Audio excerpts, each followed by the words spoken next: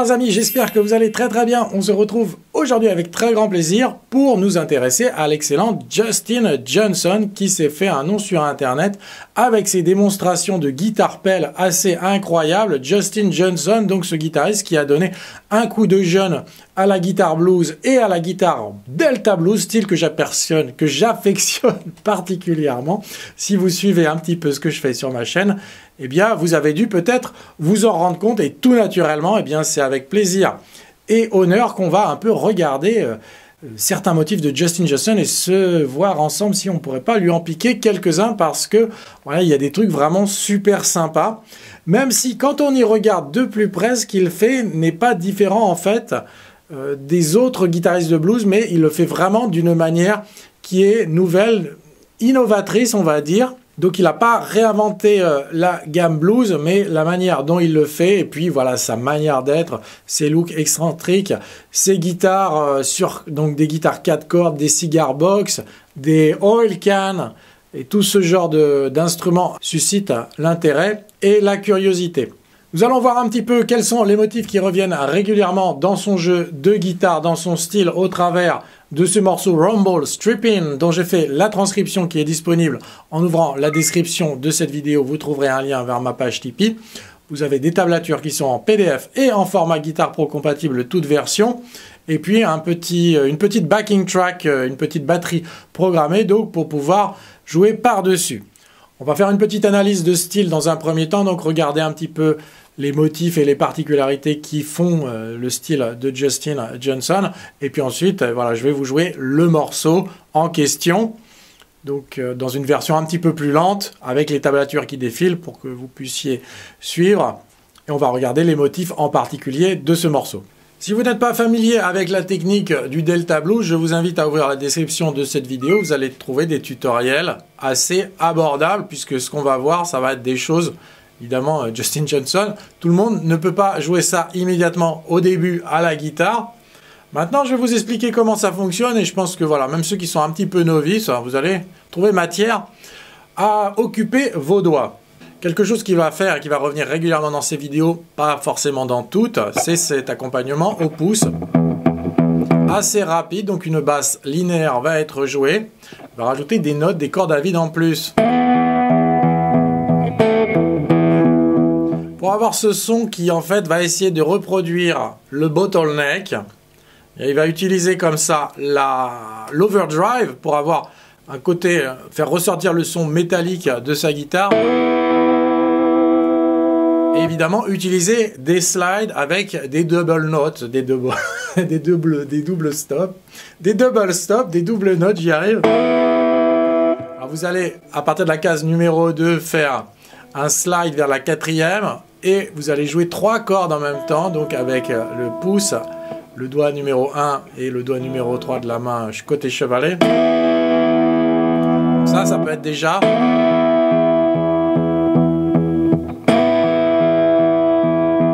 Il va y avoir un swing qui va être à chaque fois...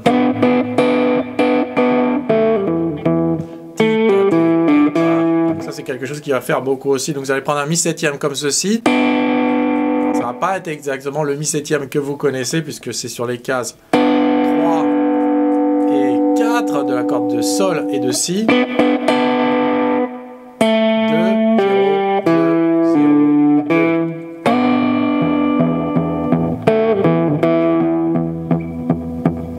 Alors, quelque chose qui est vraiment différent de la manière dont je fais, c'est que lui, sa base, elle va être il va essayer en fait d'avoir une batterie qui va remplir toute la mesure.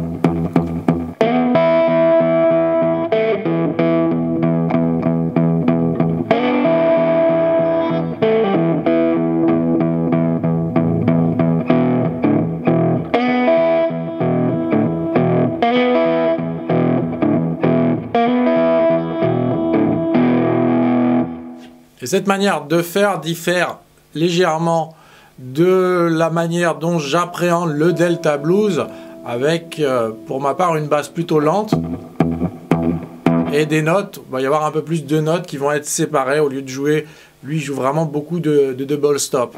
J'aurais tendance à en jouer moins, j'aurais tendance à faire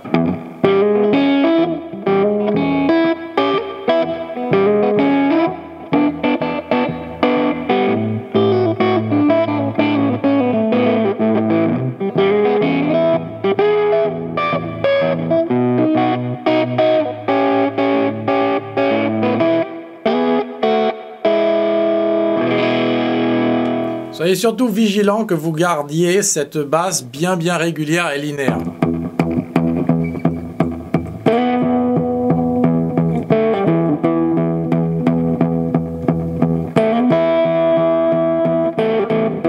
Et que vous ne vous déviez pas de votre route et que vous ne perdiez pas le tempo.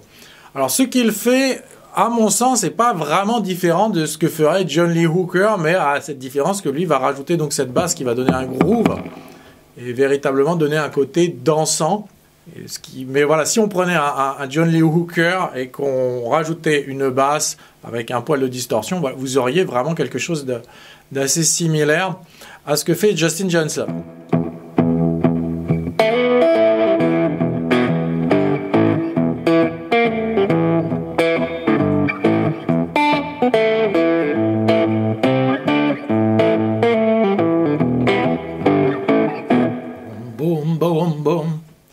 Maintenant Rumble Stripping et je vais vous le jouer avec les tablatures un petit peu plus lentement. C'est parti.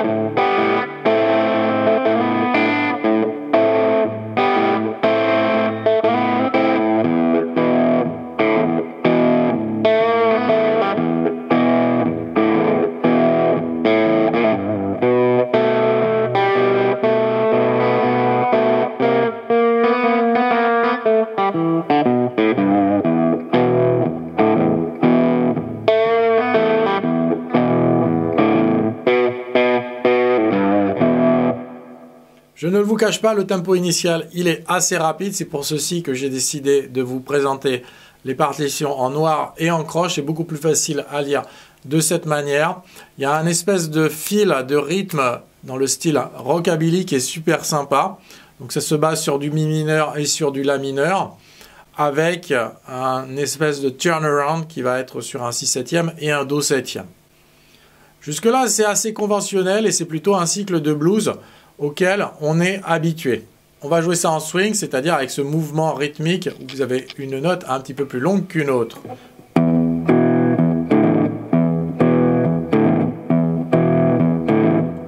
Et on va déjà dans un premier temps travailler la première mesure.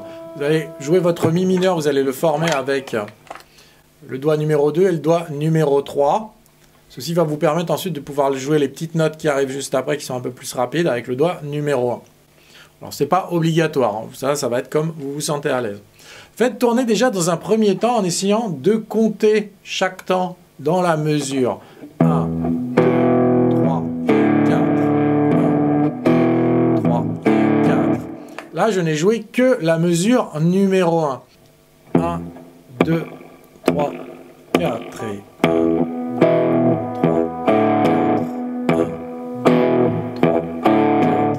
Donc vous allez accrocher les cordes adjacentes, la quatrième et la cinquième, avec le doigt numéro 1 et 2, et le pouce va jouer donc la basse à chaque fois. Cette basse, et c'est la base de tout pour le Delta Blues, elle va à chaque fois tomber sur le temps. C'est-à-dire que ça va faire 1, 2, 3, 4. Le pouce va toujours jouer 1, 2, 3, 4. Ça va faire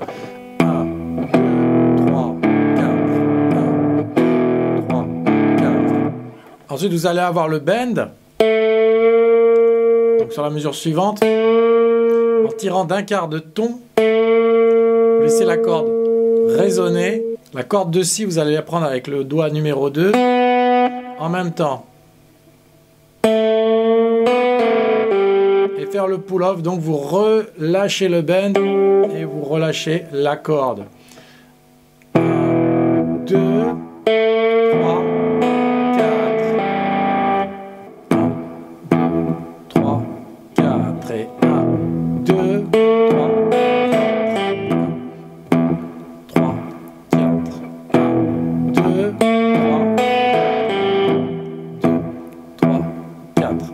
Mesure numéro 3, il va faire exactement la même chose que sur la mesure numéro 1. 1, 2, 3, 4. Mesure numéro 4, là, ça va se compliquer un peu. Vous avez une note un petit peu plus rapide.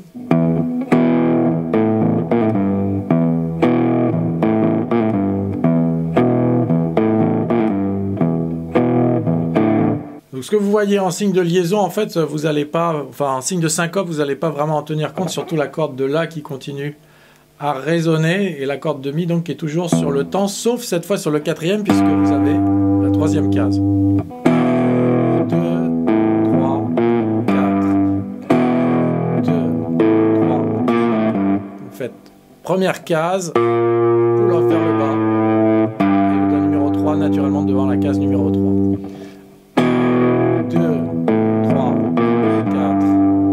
Rapidement. 1, 2, 3, 4, 1, 2, 3, 4, 1, 2, 3, 4. Pour le La mineur, vous allez avoir un motif à peu près similaire.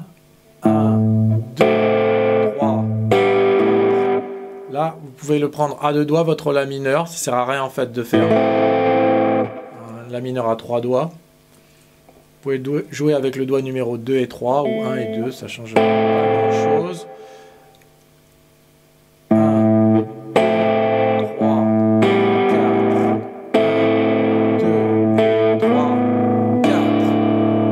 C'est un peu plus facile puisque ça tombe sur le temps, la case numéro 4 et la case numéro 3. On va prendre la mesure numéro 6. 1, 2, 3, 4. Sur le 6 septième, vous allez avoir un motif relativement simple, c'est-à-dire que ça va faire comme un 6 septième auquel vous êtes habitué, mais vous n'allez pas utiliser le doigt numéro 1 du tout. Vous avez votre basse sur chaque temps, case numéro 2. 1, 2, 3 et 4. Là, vous allez relâcher la corde de Sol. 1, 2, 3, 4. Vous faites tourner ça en boucle hein, si ça devient trop complexe jusqu'à temps que ça vienne. La mesure suivante. La mesure la plus facile, celle-là, je trouve, parce qu'elle est assez logique et c'est un motif de Travis Speaking. 1,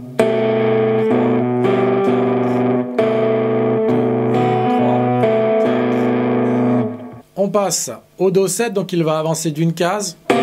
Et là, le petit motif lead.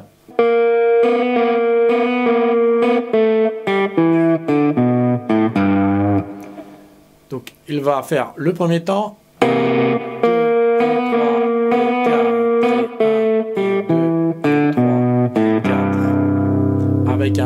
Léger bend pour donner un petit peu euh, le côté euh, vivant à son blues.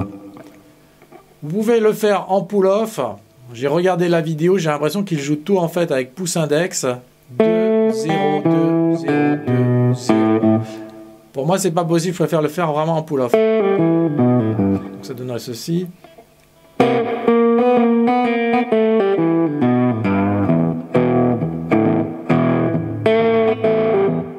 Et enfin, voilà, il va terminer à faire un espèce de turnaround pour revenir sur une forme en 6 septième sur la dernière mesure. Donc ça va faire 1, 2, 3 et 4.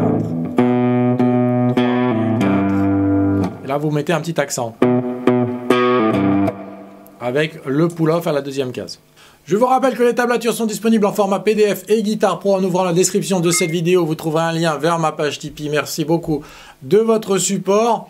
Travaillez ça tranquillement. N'hésitez pas à consulter mes autres tutoriels de Delta Blues qui sont un petit peu plus accessibles que le style de, haut vol de, de Justin. J'espère vous transmettre mon intérêt pour la technique, pour le style Delta Blues. À titre personnel, c'est vraiment quelque chose que j'adore, aussi bien sur guitare acoustique que sur guitare électrique. Voilà, donc je vous attends avec impatience peut-être pour de futurs tutoriels dans ce même style. En tout cas, faites-le moi savoir si cela vous intéresse. À très bientôt, bye bye.